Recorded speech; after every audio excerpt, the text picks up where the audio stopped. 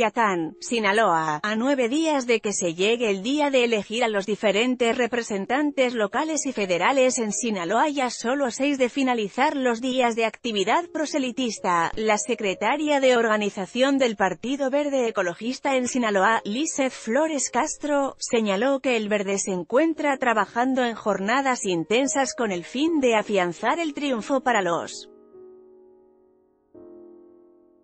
candidatos del Partido Verde, todas las estructuras municipales, los candidatos y simpatizantes nos encontramos contentos con el panorama que se ve para el Verde en Sinaloa. Sin duda es el reflejo del gran trabajo que se ha estado haciendo durante estas semanas de campaña. Viene el trabajo más intenso para todos y en el Partido Verde estamos listos, expresó la secretaria de organización del Verde.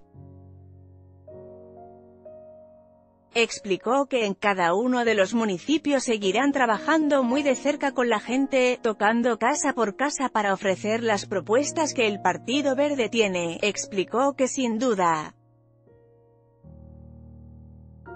Lo más efectivo en estos tiempos es hablar frente a frente con la gente, escuchar sus necesidades para poderles dar una solución y es así como lo hemos estado haciendo, finalizó. En esta nota, Sinaloa Candidatos Partido Verde Lizeth Flores Castro